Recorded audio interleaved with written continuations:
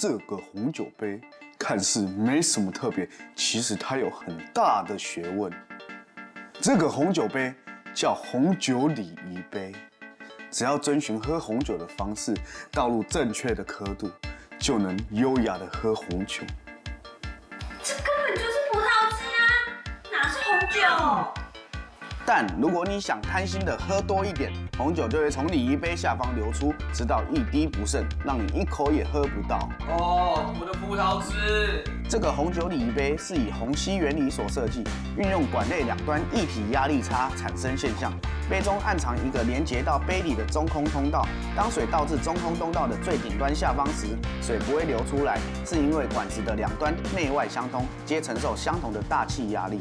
当道路的水超过中空通道顶端时，管子两端压力产生变化，水就会被挤压，开始往低处流，直到全部流光。看似普通的高脚杯，却蕴藏这么深的含义。利用科学原理告诉世人正确的态度，不可贪得无厌。